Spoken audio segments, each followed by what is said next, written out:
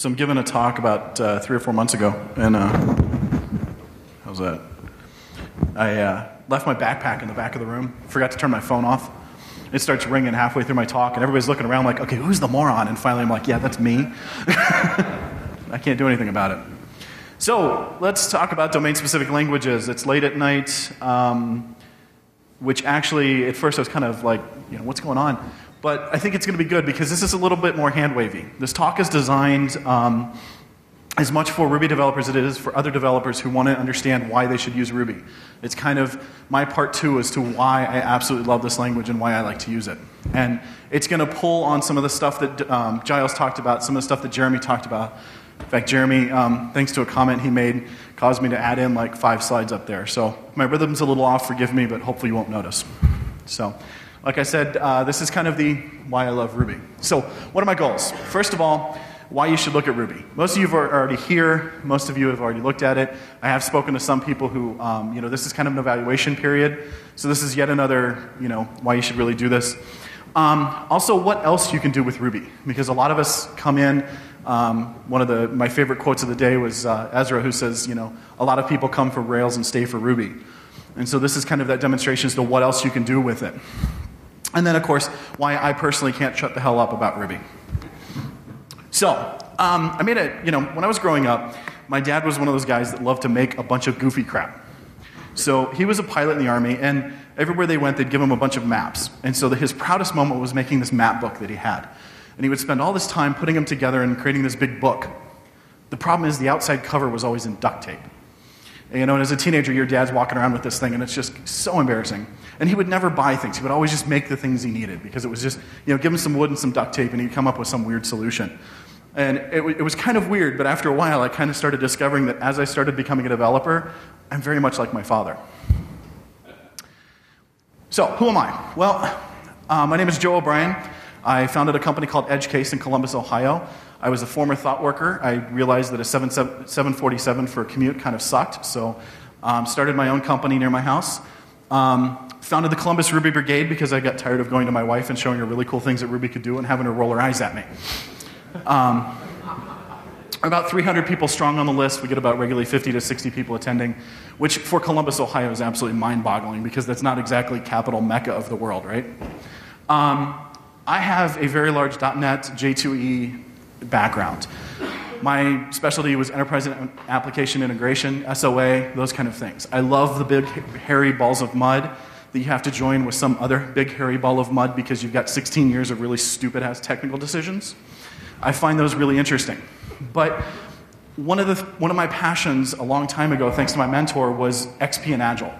And I spent a lot of time selling into enterprises and these places a better way of doing things. And while I was doing that, along came Ruby.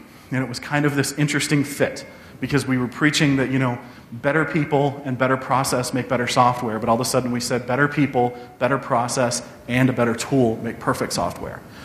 And um, with that being said, the biggest reason I have this slide up is not because, you know, I'm arrogant, like, you know, Evan said, don't be. Um, but it's because I want to tell you I'm not a Rails guy. We do mainly Rails development right now. It's hot. It's selling. I like to get paid for what I do at times. So, um, but I'm, I'm not here to tell you about Rails. I'm here to tell you about why people stay, like Evan said, or like uh, Ezra said. And I also love Emacs. And we'll get into that in a bit.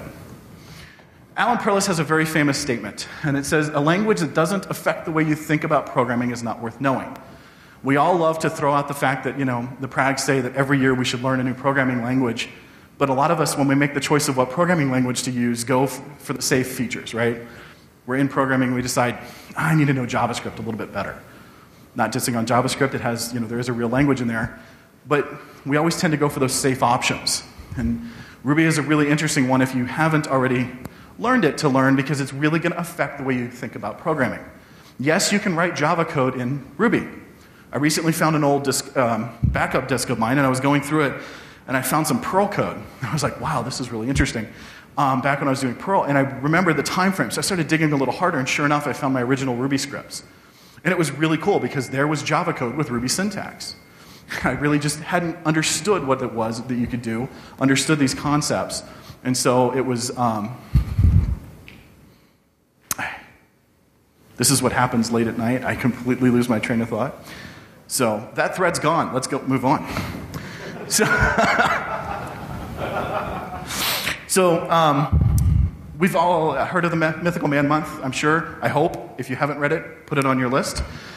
But Fred Brooks talks about the fact that they did study after study, and we came up with the fact that every programmer can produce about, on average, 1,400 lines of productive code, production code a year.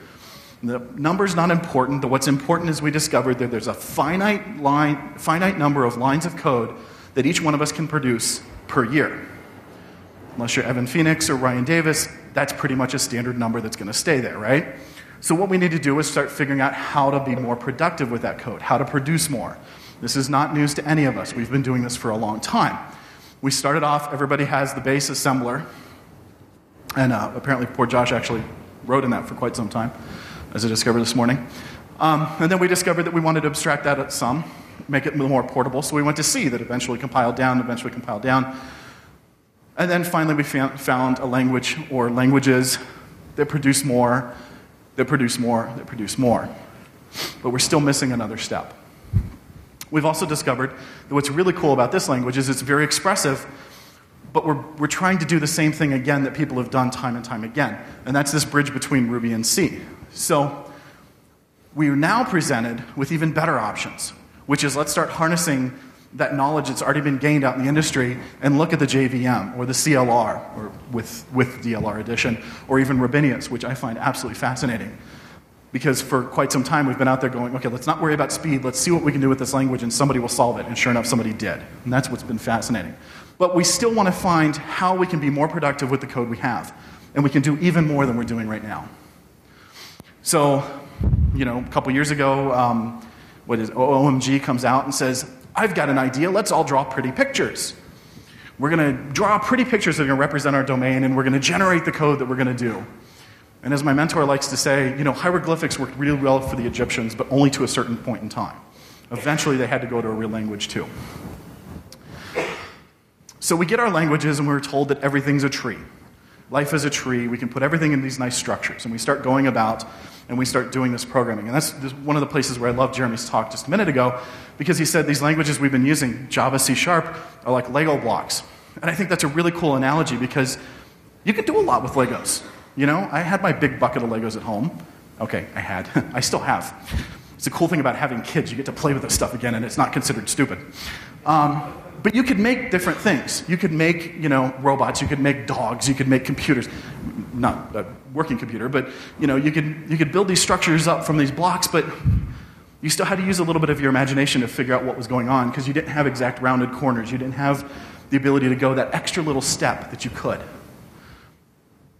We also are told everything's a tree, but what they don't tell us is what the forest really looks like, right?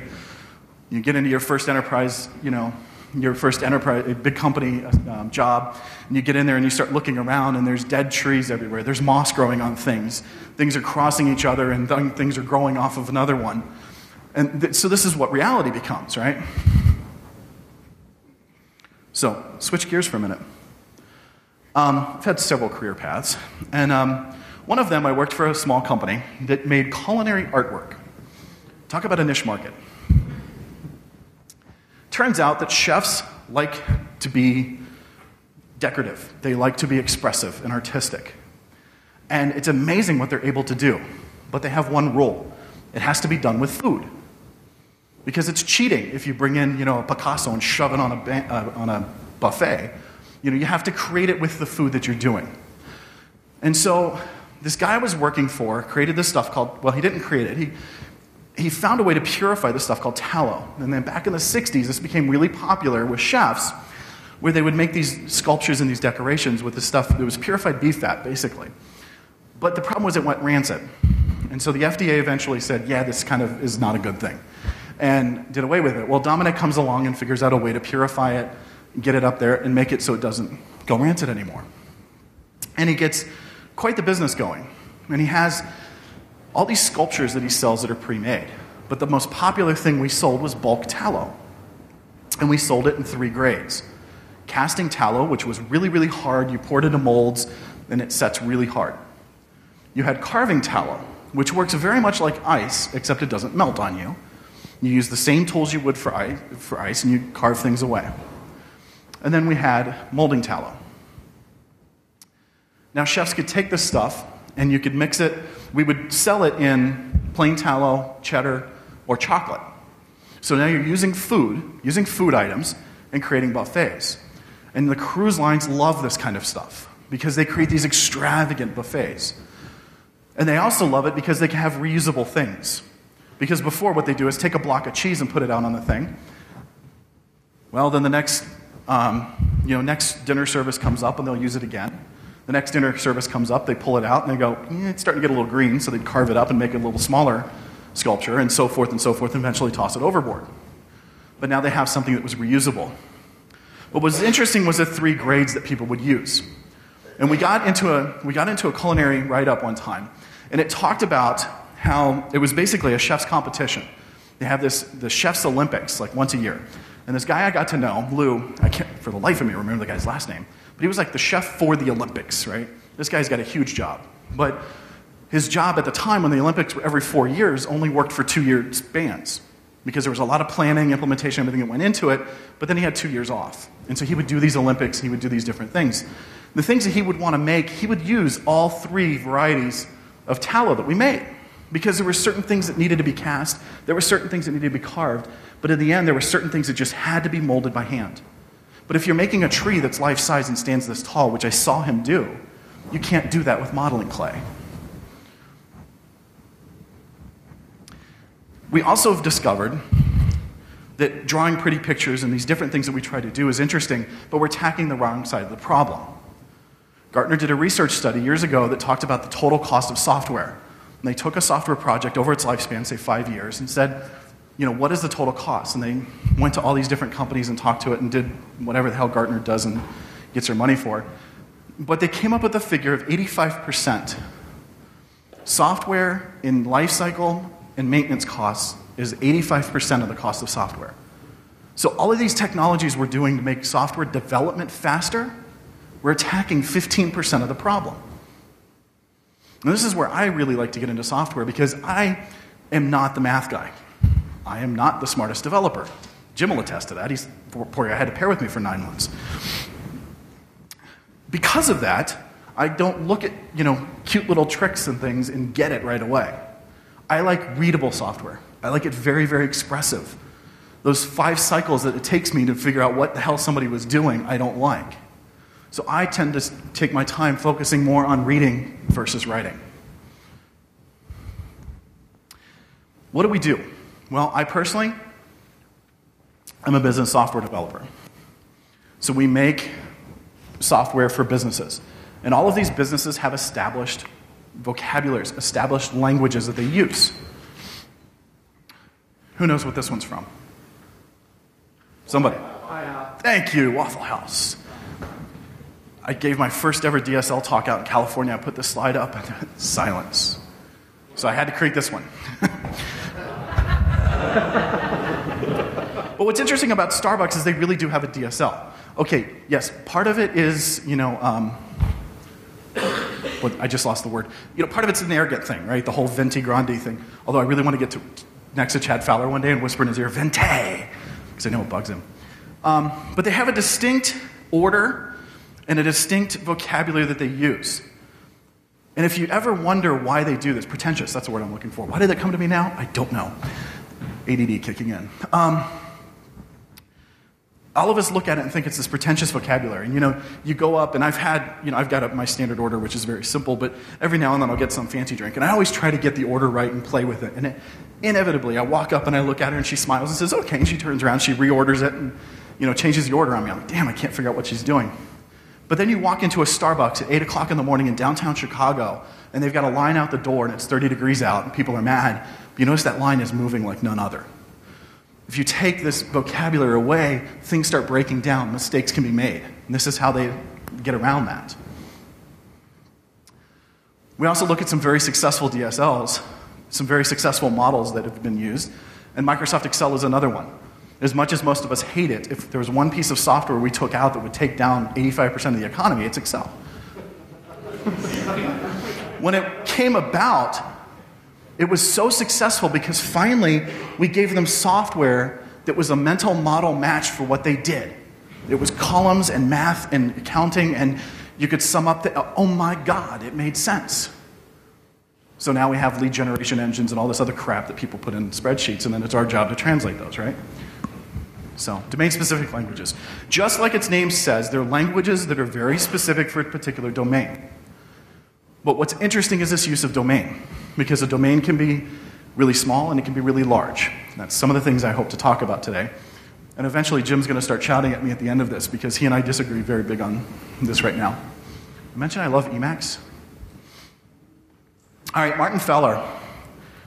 I absolutely love Martin because he's not one of the guys that's out there trying to tell us what's going to happen next year. Martin's job is to tell us what we've done. He works for ThoughtWorks, chief scientist, as some of us say, chief cheerleader. But what he does is he goes and he watches what people do in software.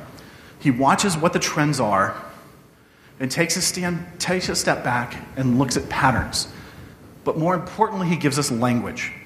He gives us language we can use to identify these things. Because while we all love to scream and moan about design patterns, what design patterns was trying to do is give us a vocabulary we could all harness so we could start communicating better about what we were doing. You know, I did this really cool hacky thing. It, it, it, kind of did this, and you know, you just put the object in there, and then okay, well, fine, we have a visitor pattern, or we have, you know, the, the singleton, or we had we had these names for things. So Martin is working on this for DSLs, thank goodness. He's got his work published and the DSL's work in progress, and I highly recommend you go look at it. It's language agnostic, and it's very, very interesting. So he defines DSLs, and I'm going to steal a lot of his vocabulary.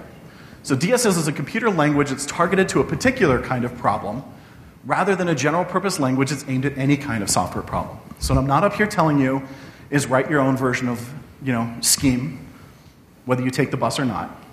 What I'm not telling you is to talk about is to write your own JavaScript. What I'm telling you is we're talking about very specific problem sets that we're trying to solve. And that also, by definition, means they're not going to work in general scenarios. And that's very important. You know, the metaphor of craftsman has been beat to death, but it's a really, really good one in so many ways.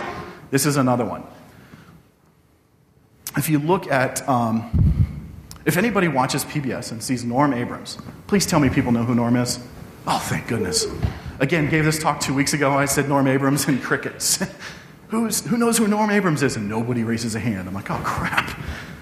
Um, despite the fact that he's got the world's biggest budget for any single carpenter, and he can pull out a new router every time he wants, instead of changing a bit, you'll still see that Norm has a lot of jigs set up. He has feather boards. He has special jigs that he sets up for certain scenarios because you can't buy every tool. And this is kind of what we're going to start talking about is building these sets of jigs and evolving the things we're doing. And then eventually you get an entire collection. And so when you go to make a window, you know where to go. When you go to make a desk, you know what you're going to do. When you go to build a model bridge, you know what you're going to grab. These can be small, these can be rather large.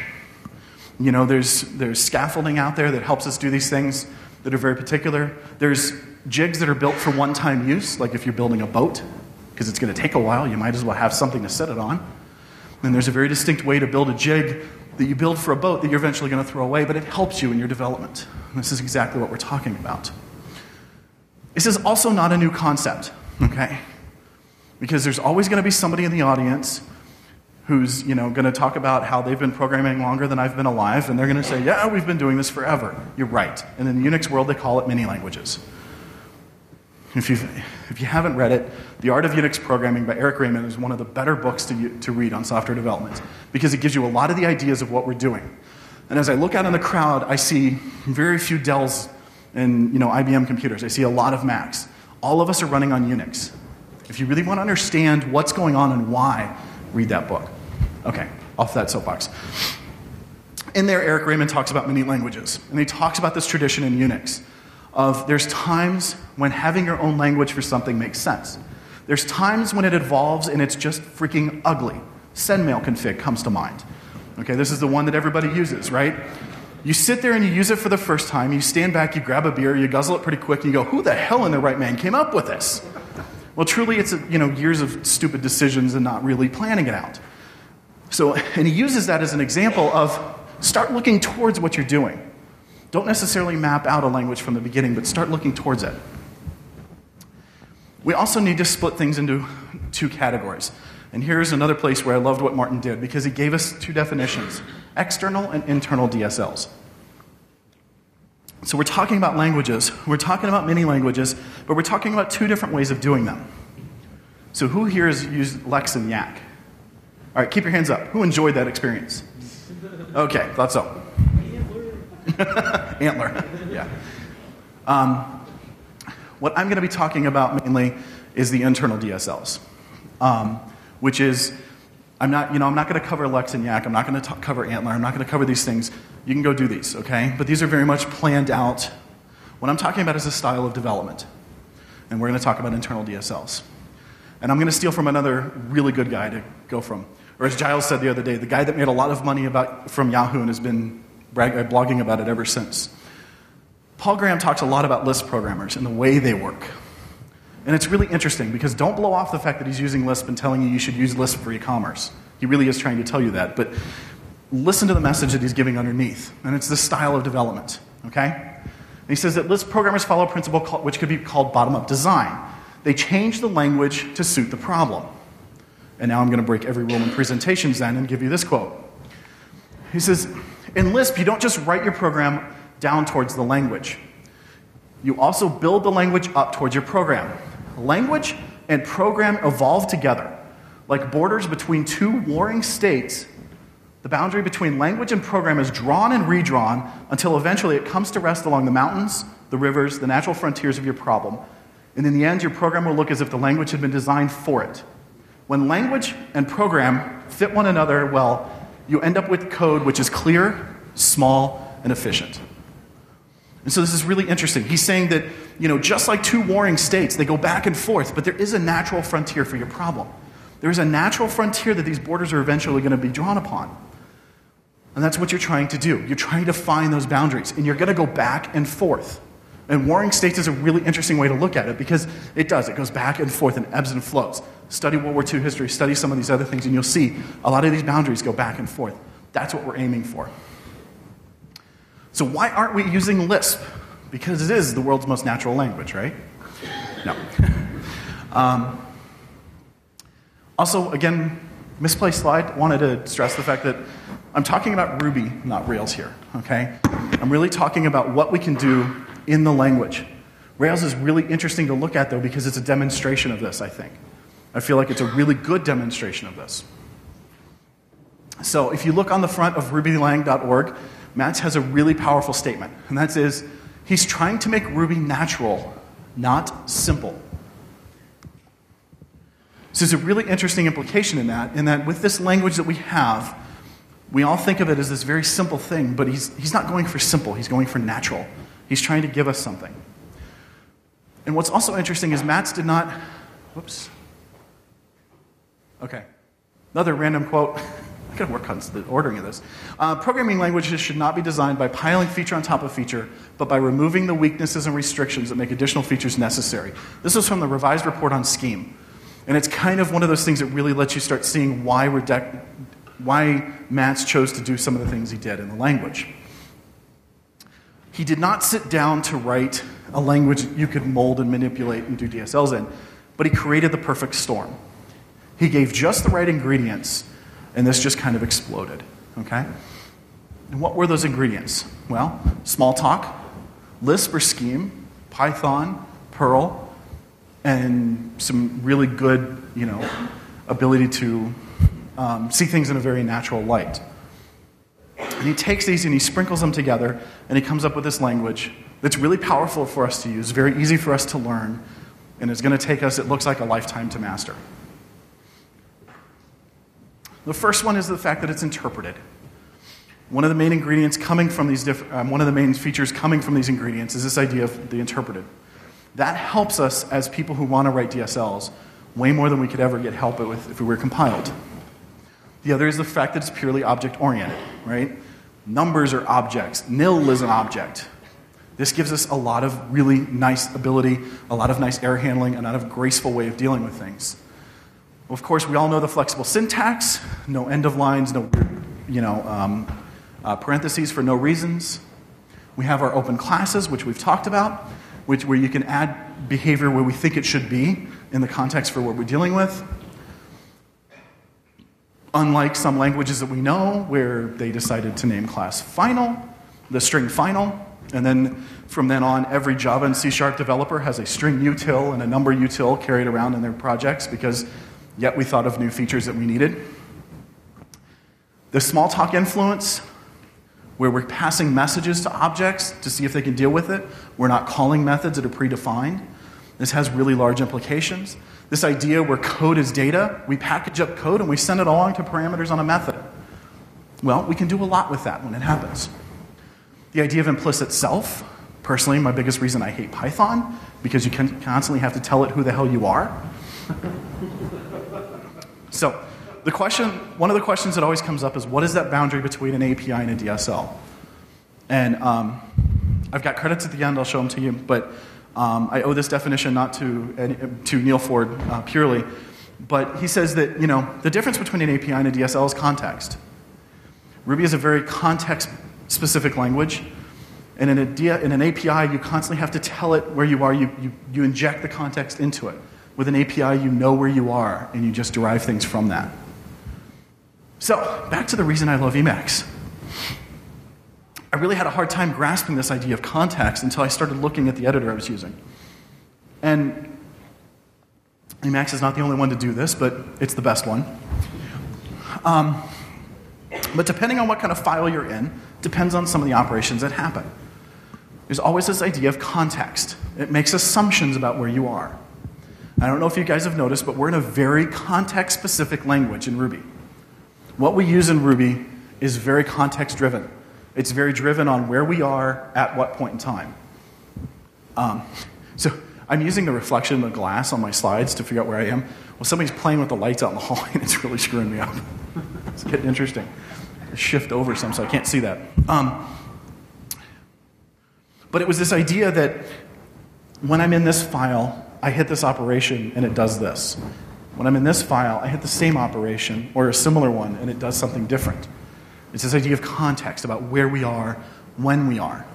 And you can play with that context. You can manipulate that. You can define things in one context and run them somewhere else. And these keys become very important if you want to mold the language. Um, Active Record is a really good example, where we have these declarative, um, these uh, this declarative style that's come about, but it only works in the context of where we are. It works because we know we can assume a lot of things. You know, convention over configuration is great, but it's only great because of context, because we are in that place and we can make those assumptions. So, from um, Martin's book and from a lot of the work that's been done out there, we are starting to collect some patterns on this.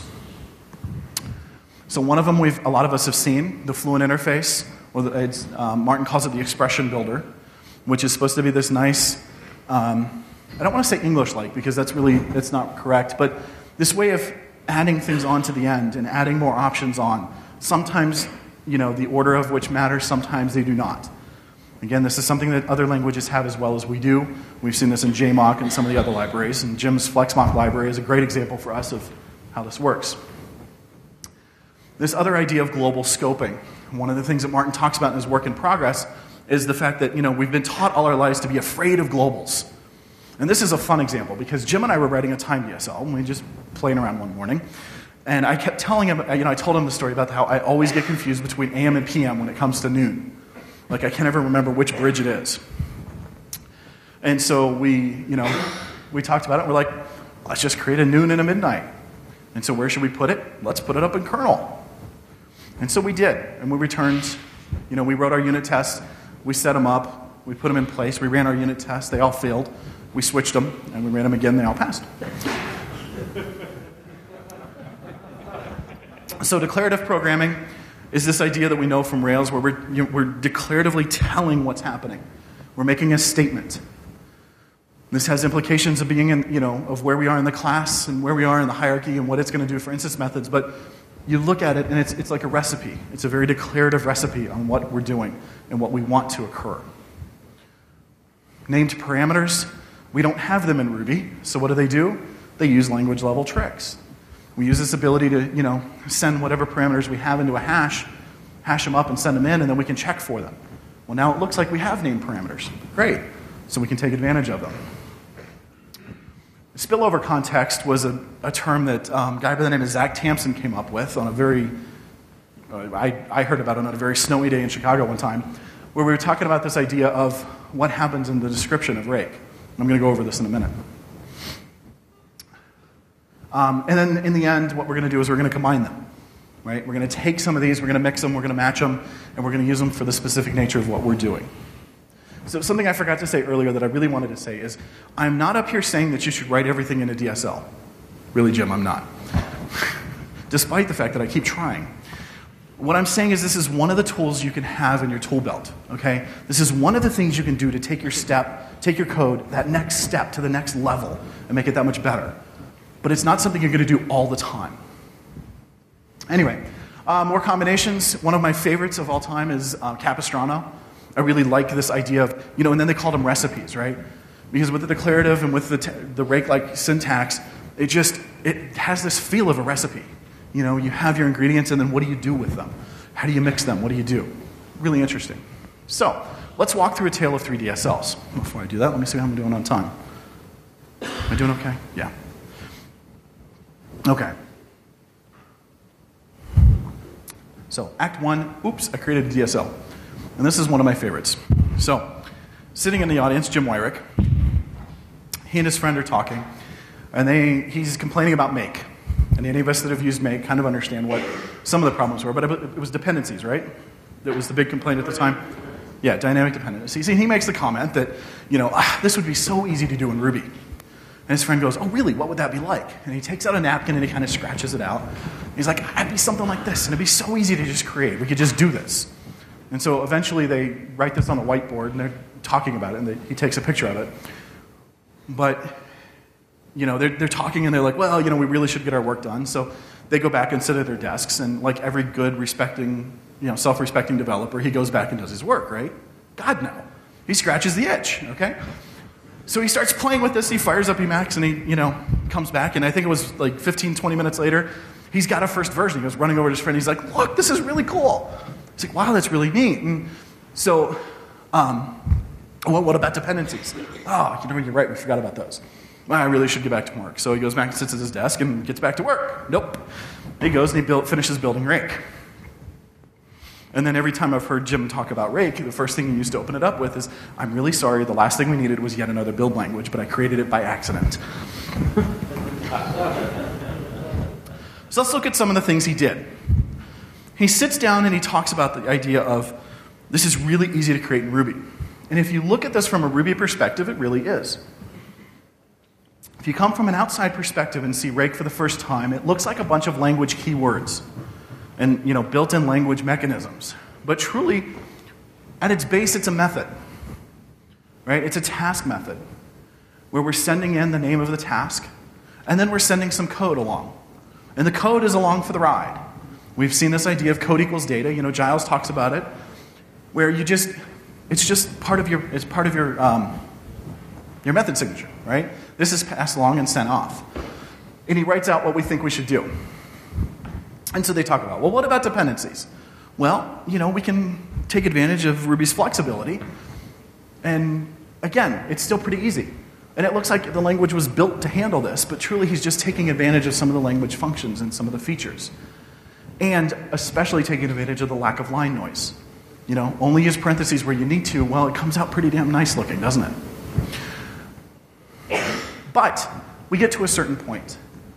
and this is one of the things that I really find interesting about talking to Jim is Jim understands the idea of code that's written to be cute versus code that's written to be used. And we have an interesting problem here because if we create it like this, these, these methods are, are defined somewhere else. We're trying to play with the, the syntax, we're trying, or the uh, context. We're trying to take this, package it up, and send it somewhere else. And you can do some cute tricks. I've actually seen him do it.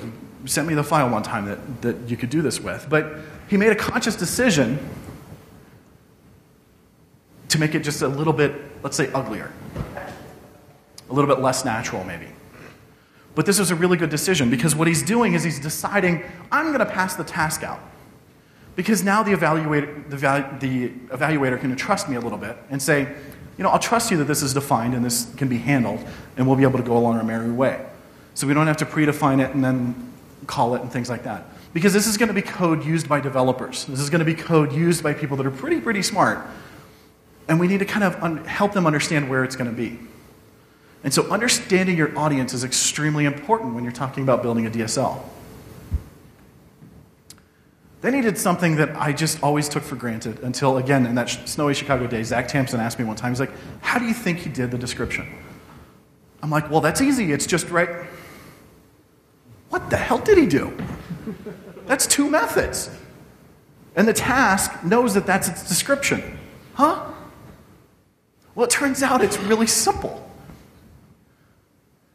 All he's doing is setting a variable, and then when he defines the task, checking that variable and say, hey, is it there? Yeah, it is. Okay, grab it.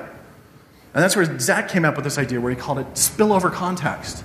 We're setting a context here in description, and it's spilling over to the next thing. Because, you know, we look at it and we can know what's happening.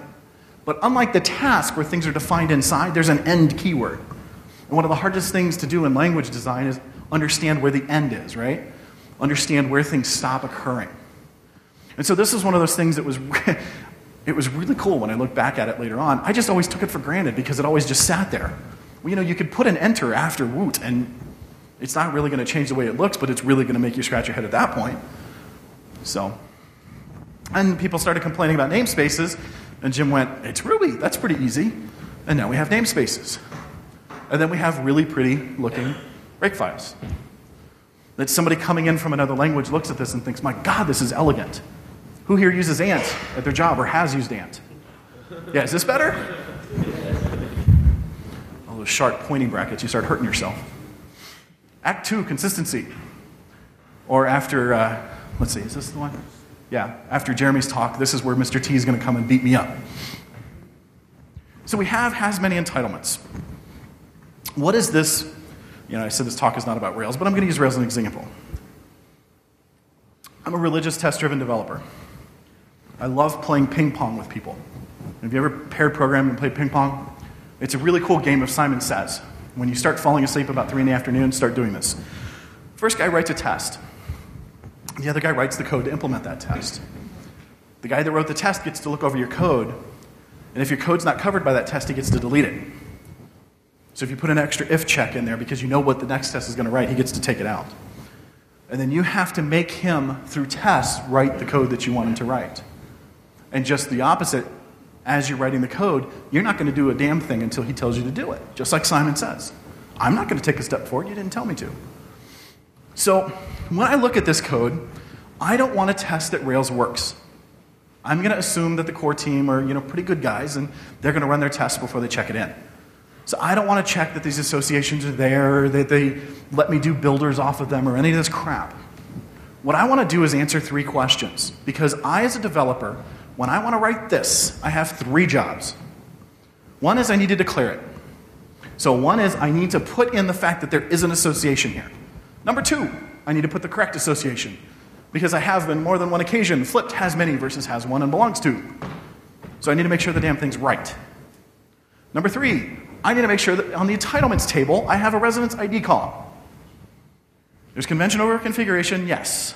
But as developers, there are certain jobs we have to do. And I want somebody to tell me that that's the job I need to do. So I sit down and I take this. I want to test drive it. So I start off and I write a test. Okay? This test that should have this association. And the first thing I do is I reflect on the association, make sure it's there. And people are going to yell at me because, yes, I have more than one assert per test. This particular test, I like to fail early. Because if I do have the, you know, if I do have the correct key, it's not going to matter if my association's not there, blah, blah, blah. Anyway, so I've chosen to put them in the same test. And I go, first, is the association there? Yes or no? Yes, it is. Great. Second, is the association correct? No, it's not. Go back and try again.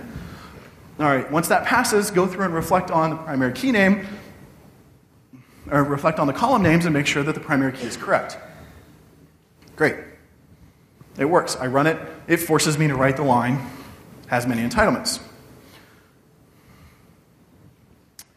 Well, I need another one. So what do I do? I copy and paste, right? No, God, no. I do what everybody does into XUnit, and I go and I write a custom assertion. I refactor a couple things out, and now I have my assert model has many, and it's a resident model, it's entitlements. And that's nice and flowy, right? God, no. That's pretty ugly. But it works. So then a good friend of mine, Stuart Halloway, comes and we, have, uh, we had a conference called eRubyCon last year. We're going to have another one. Don't worry, I'll advertise it later. And he says, if I can write it in one line, I want to test it in one line. And so, like every good developer, this started an itch, and I thought, I need to go revisit those assertions. And this is exactly what he was saying. If I declare it in one line, I want to write it in one line. So I sat down and thought, how do I want it to look? I want it to look like this. I want to declare what my entitlements are. I want to test that those are there because this is what I want to do. But I still want it to make me ask those three questions Is it there? Is it correct? Do I have the right column name on the other one? so I go through and I eventually end up evaluating it. And I just build my association in a string. And because it's Ruby, I can define it. Class eval is not as evil if you pass in underscore underscore file underscore underscore line because it does give you good debugging information. But that's not what I'm here to talk about. What I'm here to talk about is the fact that in the end, what happens? I look at my code and I say, here are my associations. And I look at my test and say, here are my associations. I wanted consistency. No, actually, I just wanted to prove that it can be done and, you know, give it to Stu, but that's beside the point. But what I have now is consistency. What I have now is a model that looks pretty simple and a test that tells me that that's what I was trying to do. I'm not, not testing the associations. I say this because every time I give this, there's always a hand that goes up and goes, Well, you shouldn't be testing the framework. I'm not testing the framework. What I'm telling you is I'm playing with the language, I'm manipulating it around. This is something I can't do in Java. This is where we have these really ugly asserts that come in. Come on. I'm pointing at the screen like that's going to do any good. Um, I have these asserts that don't look natural, they don't feel natural. Does natural mean English? No, it does not. Dave Thomas had a really good blog post like this last week or week before where he talked about DSLs and he says, you know, if you're aiming for English, you're probably missing the point. Aim for the domain. In this case, my domain that I'm in is Rails. So I'm aiming to be consistent within Rails. Act 3, business language. This story has a really kind of funny ending after all the buildup, but um, since it's proprietary code, I have the agreement from the client that I can change the story and use it. So let's pretend we're in a just in time inventory system, okay? We're in a factory that has just in time inventory. For each inventory item, they have this language that's been established of how they deliver things. And we're handed this document and says, here's the rules of what happens. And what you need to make sure is these deliveries do not occur at certain times, and the deliveries do occur at certain times. We have to algorithmically go about and do this. In this particular case, in this particular factory, it's very highly regulated by the state, by federal, and by the particular factory. They have their own rules as to when these happen. And so you look at the language and it's there. So, Jim and I are working on this project together, and we start working it out. And we create our objects, we have a really nice OO design, and we start going to town. After a while, we discover that they can actually be reused. We can actually start harnessing some of the others because some of these definitions actually mean combinations of others. And so this is Ruby, right? So we can start harnessing, you know, grabbing and and or, or ampersand, and, yeah, ampersand or we can grab these things and start changing what their meanings are in this particular context and start chaining them together. That's really cool. It's not the whole DSL, but, um, but it was kind of fun, right? Because again, we can't do this in a language. And then we start looking and decide we're talking a lot about time. And this is where Jim and I came, came in and did the time DSL. Why? Because it was just as easy to create as it was to look for one. So we did six hours, we did, you know, four days, we did these kind of things and put it in, not four days, it was already done, but the hours and minutes. And we wrote our tests. And we're writing out these tests, and we're discovering that there's a lot of these edge cases that are happening, a lot of these boundary conditions that we're really not sure about. What happens here? What happens here? So we start a list. Okay, let's keep a list. We'll make sure to ask the client about this one and this one and this one. And after a while, we're like, you know, this is getting ridiculous. We've got a lot of these scattered about. So we're putting comments in the code. Maybe we'll go through those and we won't forget. Yeah, that doesn't work so well either. So I say what I always say when I'm around Jim, which is let's write a DSL. And so I'm like, what would it look like? What are, what are we trying to do? Okay? We had refactored our code really, really nicely for us. Okay? For us, this made a lot of sense. Um, I just hit that, didn't I? Anyway.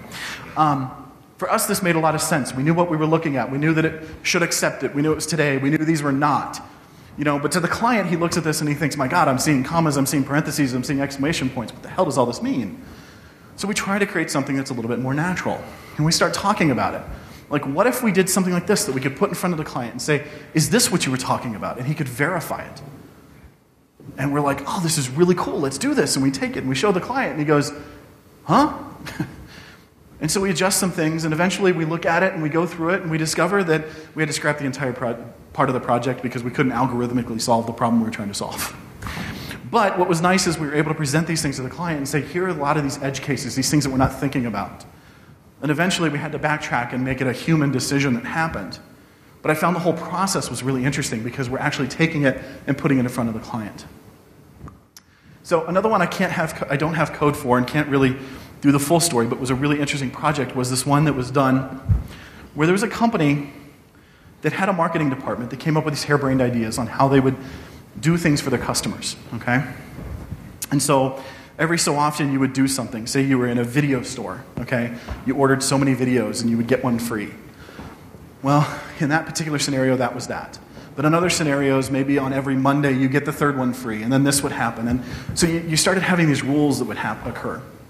And eventually, all these rules were, were a m- bunch of database calls. At the end of the day, this particular project was just nothing more than a series of database calls. So this team was, was parachuted in, and I was uh, on it for a very short period of time. And they, um, they did something very fascinating, which was talk to the client and figure out the two people in the entire company that had to communicate an accountant and a DBA. And that communication is always smooth, right? No. My God, no. And we'd actually see there talking to them about what they need, and they'd start talking, and it was literally like sitting one person down and having them speak French and the other one speak Russian because they just they had no idea what they were doing. And so we're trying to talk to them and figure out how we can do this because this is becoming a bottleneck. This is becoming really hard. And so what the team was able to do was basically create an ORM. But the ORM looked nothing like Hibernate. It looked nothing like Active Record. It looked like this company's language. And they could teach the programmer, the DBA, what a symbol meant. They could teach him what a string was, and he knew where these things were. But they made a very important decision. They decided to make this a human readable language, not a human writable language.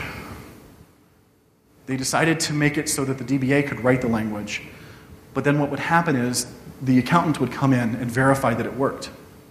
And instead of signing off on a Word document that had a bunch of definitions and then making a transition of that into code and losing it out, they actually took, he actually was able to look at the executable code and say yes or no. It was a fascinating way of taking a language and molding it and getting it down to a business language. It's another really interesting part of. Um, see what I'm doing on time and slide wise here. Um, okay, still okay.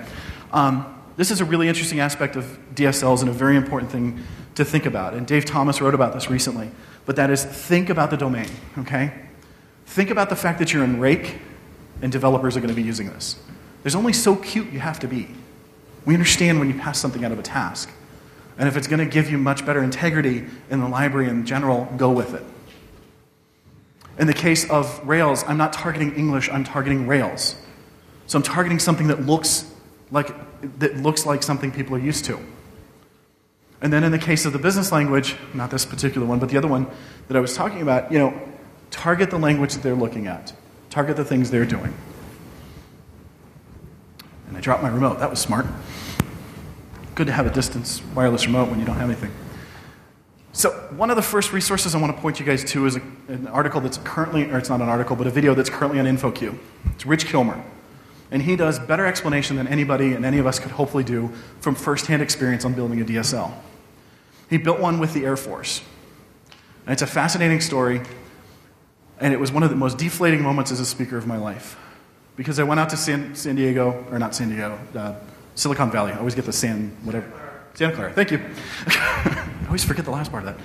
I go out there to talk about DSLs. I'm all stoked and excited. And I sit down with, with Rich the night before I go to talk, and he shows me this thing that he's done that he had just given a talk on that I missed. And I'm like, okay, I'm just going to get on the flight and go home. Forget what I did because he just totally showed up what he did. But this is a really good talk, and he gives a really good example of what he's doing. So this is kind of a hand wavy kind of demonstration, but he goes into the details of what's there. So please go look at this video. The other resources, of course, I talked about Martin Fowler's um, DSL work in progress.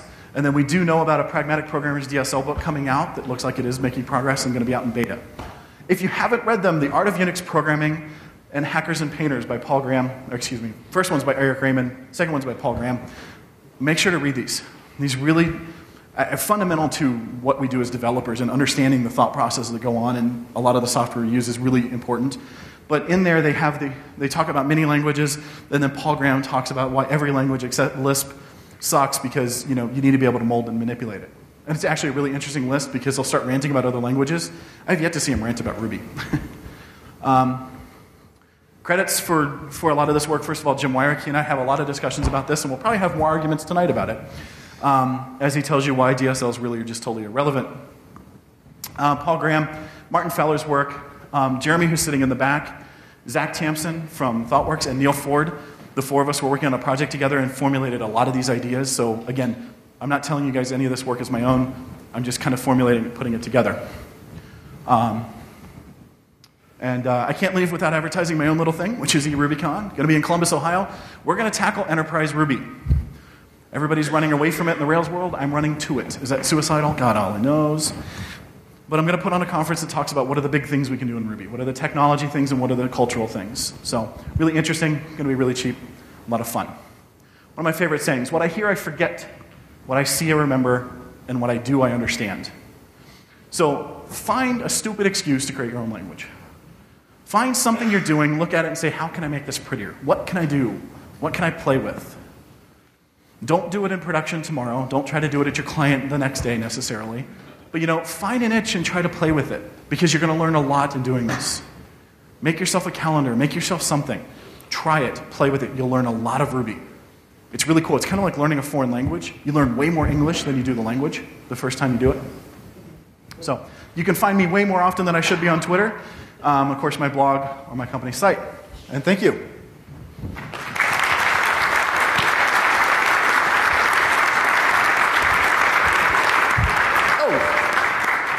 I almost forgot now that everybody's trying to leave.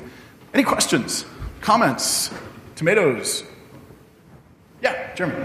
Uh, I actually really appreciated your treatment of the Rails testing there. I do that, and people always yell at me, "You're testing the framework." And uh, you do? I thought you were going to send Mr. T after No, what I wanted to say is the reason I would send Mr. T after you would be if, um, like, I was looking at some code the other day, and someone had metaprogrammed a helper to include a module of validations where they only did it one time done all this effort to basically not. I mean, it, was yeah. cool, but it was useless. And so, all that effort to do something. Right. Right. And so you're not saving yourself any steps. You're just creating more code complexity.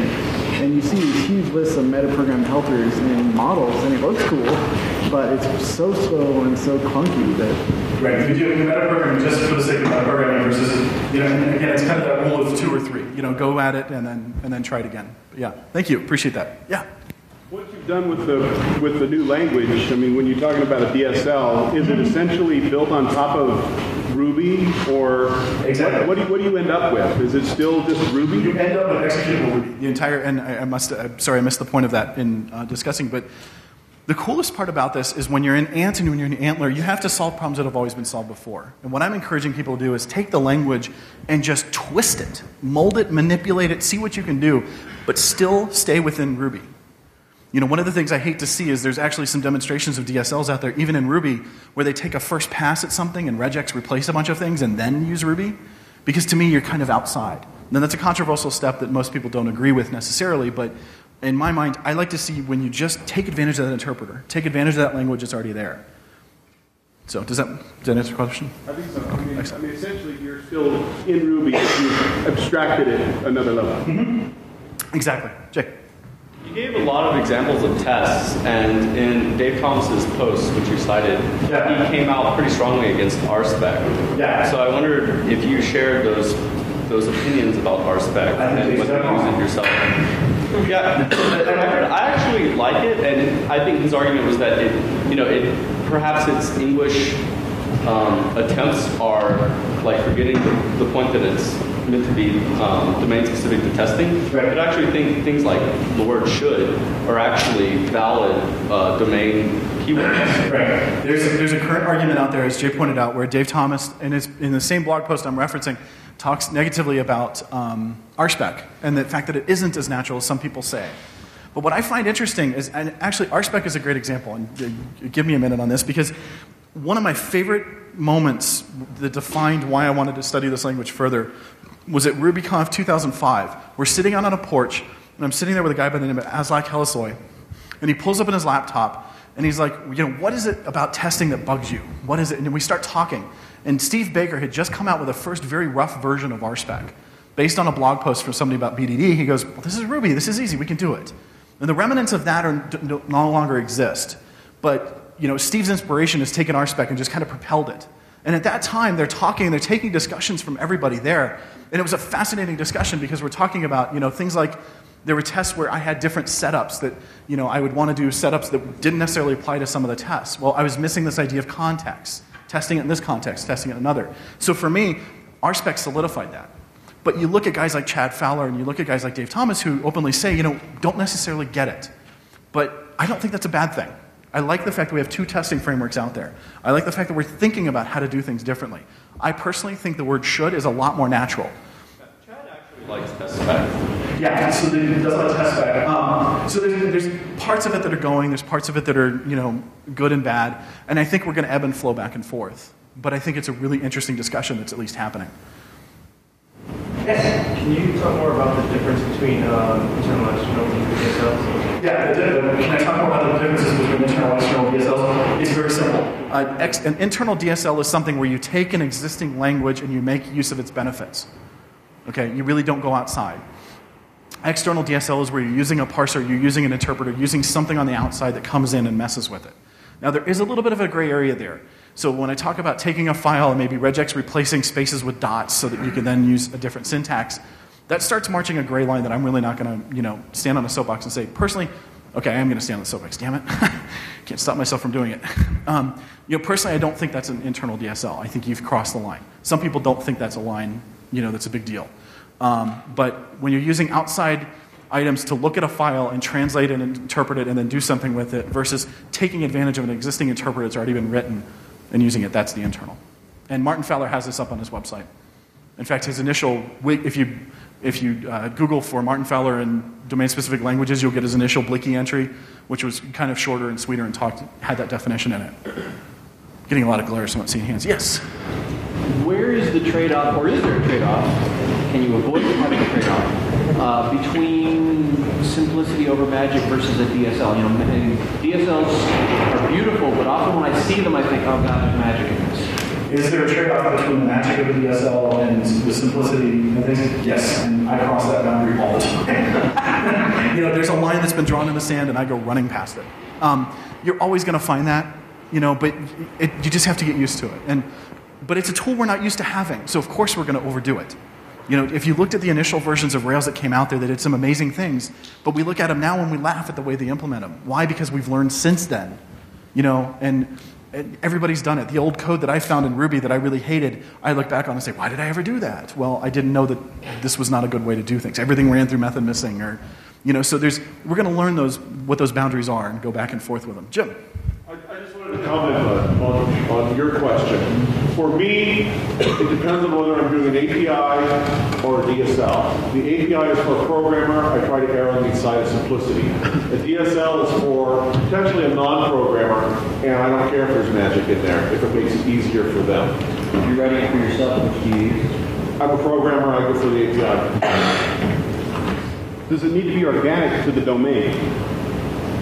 Yes, all I mean, Is that the difference between magic and? I mean, Is that- so does- It's understandable in the domain. Does it need to be organic to the domain? Um, if it's understandable in the domain, yeah, I think that's the idea that we're trying to get to. We're trying to get a more expressive idea out here. Another layer of abstraction that makes sense, though, not just one we're making up for no reason, rhyme or reason. And I think that's where Dave uh, you know, disagrees with RSpec. He thinks we're just, in a lot of ways, making some of the things up just to make them up. And that's, that's the line we have to figure out where that is. But yeah, it needs to be or, organic to the domain, exactly. Sorry. So one of the things that has always, uh, to a certain degree, irritated me about Rake is the the, the notion of um, we're going to put white space where Ruby allows it, but where it's in fact not idiomatic Ruby to. Uh, to have the white space there. And I mean, you'll, you'll see in uh, recent versions of Ruby, it will complain about certain uses of passing parameters without the parentheses. And that tension has always, I mean, it, it seems as though uh, the idioms for rake are in the opposite direction, primarily because we've all seen build files written in make and uh, well, make is the one that comes to my mind uh, first, but where where the, the tasks and the dependencies are not. Uh, right. No, and, and, I get that, and it's it's interesting because actually my rule of thumb is always just leave out the things until the interpreter tells me. um, but that's an interesting thing that I highly encourage you to talk to Jim about and discuss because I know he's been doing a lot of work to go to the one nine and I'm sure some of these things are being dealt with. But that is, yeah, that's again part of that ebb and flow is where we're going to have you know some idioms that are there from Rake and some that are there from Ruby and some that need to be there, and we're in, we're, it's an internal DSL, so we're going to go back and forth. Josh. So, you know, Paul Graham's quote is, you know, the really long. Yeah, yeah. It, it, anybody who's done a lot of Lisp just invents their own language eventually. Yes. They're doing it by using macro or whatever facilities that they got there. And but but that breaks down really quickly because as soon as you start playing around with macros, you're not programming Lisp anymore. And someone else comes and looks at your code and they have no what you're doing. And probably whatever tools you're using to, to do your programming in Lisp break down really quickly too. The, I, have done that style of Lisp coding very much, so I don't know what the tool support is like these days, et what, do you see happening in Ruby people building DSLs, you know, the, the dot flow, whatever style of uh, yeah. kind of DSL building, uh, seems to still be Ruby-ish, but there are other forms of DSL that people play around with where you eventually diverge, and you're not even programming Ruby anymore, and probably the tools fall over. And, Right. So we're, you know, we're, we're talking about Paul Graham's, um, you know, talking Lisp and the fact that they go back and forth and, you know, they end up creating their own language, which makes it really hard to hand off to somebody. And the tool support's just not necessarily there. Um, and I guess my answer to that is I think every Lisp programmer is an Emacs. They just build their own damn tools, right? Um, but I, uh, it's interesting because I don't know how I feel about that. Like, I think we make a lot of language decisions based on tools, and I think that's wrong. I was, you know, came from the Java world, and there's a lot of people who are afraid to leave Java because for a language like Ruby because my tool is no longer there. So I'm going to, you know, purposely not let myself be more expressive because of this. And I don't know where that's going to take us personally. You know, I think it's going to be a problem at some point, but I think I've also gone into places where they have, you know, Java code that has not been changed or done anything cute with, and, and it still takes me forever to figure out what the hell they're doing anyway. You know, even though they're following the exact language rules and things like that. So I think any domain you go into, you, you enter that risk anyway. If you have something that's more expressive, you learn the domain. If it's done correctly, you learn the language as you go too. I don't think there's anything wrong with flying without a net. Yeah. And, and sometimes you do a, a good trick and you do that. But it, I, I, think it, it's good to be conscious, or at least aware of when you cross that line. And I was curious if you had any insight into yeah, how to make the decision, how to, how to notice when that's happening. I wish I had insight into that, and my insight right now is I keep a parallel Jim around that slaps me when I do go across the line because I go across it every single time.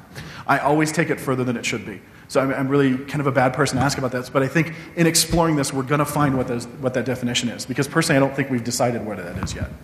But yeah, it's something we need to be conscious of where you're trying to get too cute or trying to do too much. I, guess, I gotta say that I think RSpec crosses that line that with, you know, with the way you build matchers and the, it, I mean, it took me a really long time just staring at it, trying to figure out how the hell that was actually working in the first place. Yeah, which is interesting because I, I love hearing opinions like that from guys like you who, who have experience with it and have a hard time with it. Because I've also trained some new developers in Ruby and Rails and teach them RSpec, and it just kind of makes sense. You know, where they're not bringing they're not bringing some of our preconceived notions. I think I don't know. You know, It's not that I didn't get how to, use it, it was, it was, you know, what crazy metaprogramming trick we've been doing and actually have this, you know, be able to, you know, do these crazy matches like that. Very much so. If you talk to Dave, you talk to Aslak, you talk to any of those guys, they'll fully admit the fact that they have crossed the line several times and come back, and you know they've they've gone through those growing pains, definitely. Any others? Yes, Jeremy. Um, you talked about read versus write code, and that actually might be to your point. Like a lot of DSLs are really optimized for reading, Yes. writing, and RSpec is really optimized for reading for sure and writing certain types of things. But if you're once you get the valves, you have to really understand it. Right. And that part is not optimized. It's actually much harder. So, so. Any other hands? Yes. There's been a lot of talk today about uh, metaprogramming and a lot of allusions to, well, we used to do it in some old way, now we're, we learn better ways. But coming into it, where do you start learning the good ways? You just Um, that's actually a great question, and I wish there was more places to point you because we are still forming some of those opinions. And yes, I'll let you talk in just a second. um, I have seen some books proposed um, that are starting to talk about the same things that we encountered in the Java world when Java was first starting. You know, everybody went out and ran at with it and started doing things, but we didn't know what was the right way to do things. You know, we had interfaces, but how the hell did we use them? What, what were they supposed to be done? And eventually, somebody comes out like Josh Bloch and goes, "Okay, effective Java, boom, let's draw the line in the sand." And I'm hoping some things are going to start coming out like that. Um, for right now, talks like this, you know, listening to Jeremy talk, um, you know, reading Josh's blog, people like that that you know are out there that are talking about it. Watch what they do and follow what they do. Um, we're going to make mistakes. We're, we're not at a place where I can give you definitive answers as this, and that's that. Giles. Uh, I was just going to say that, as far as I can tell, for this particular set of you know questions on Ruby, like how do you do metaprogramming and you know the, the nuts and bolts of it, uh, the best two books are really uh, The Ruby Way uh, by Hal Fulton and um, Ruby for Rails by, by David Black, the one that uh, Jeremy mentioned. And it, it really comes down to uh, like the final four chapters in Ruby for Rails um, will give you like I don't know. You can just pack the whole thing in there. But you know, Ruby is also good. Yeah, and that's a, that's a good, that's a, um, a good point. There's a lot of documentation on how to do it now that we didn't have before. In fact, even um, oh, I thought that was advanced. That's not. That's Ajax. Oh, there it is. Advanced Rails, the O'Reilly one, has one of the opening chapters talks about metaprogramming. Has a really good description about the object model and how it works. Hal Fulton's book is fantastic for that. Actually, if you're going to do any kind of Ruby, you need to have the pickaxe and Hal Fulton's book next to you anyway. Um, but um, you know, those are going to tell you how to do it. But what is the right way? What is, you know, what's the things to do? I don't know. You know, open some of Jim's libraries. Open up FlexMock. Open up Builder. Open up Rake. Open up some of the other gems. Look at Jay's um, um, uh, Adhearsion stuff. You know, start seeing how some of these people are doing it and talk to them. Jay. I want to bring up the RSpec thing again because I think it covers. I think it covers an abstract, abstract, uh, yet important thing about DSLs in general, and that's um, like the ambiguity in implementation. And I think Rails is even more of an example than RSpec of like crazy magic that's going on in some of the active record stuff. Yeah, we never question that. We, we take the macros and stuff for granted because we like them. And I think um, spec is like a red herring for this whole like DSL topic. Right. Um, Well, because RSpec in its lifetime is where Rails was if you look at, say, 0.13. Okay, they'd already gone through a lot of revisions, they'd already gone through some cleanup. And maybe that's a bad example exactly word for word, but you know, these guys got a later start and they started doing some of these things and they're looking at Rails and looking at some of these practices, but they're doing a lot more metaprogramming than some of the others and a lot, trying to do, be a lot more cute with some of the things they're doing. And in that, they're getting into some holes and getting into some places. But you know, if you if you started playing with uh, with RSpec early on, our company started using it at 0.7, and we're using it to this day. You know, I really like where it's going, and I like the pr- progression it's done. But yeah, they're you know, Rails has been doing a lot of this stuff too, and they hung themselves in a lot of places. And if you notice, performance is getting better and better and better with Rails as we go along because I think they're starting to look at some of these things and look at some of these, you know, items they were doing. So, all right, any more questions, please find me. Let's let everybody else go home. Thank you.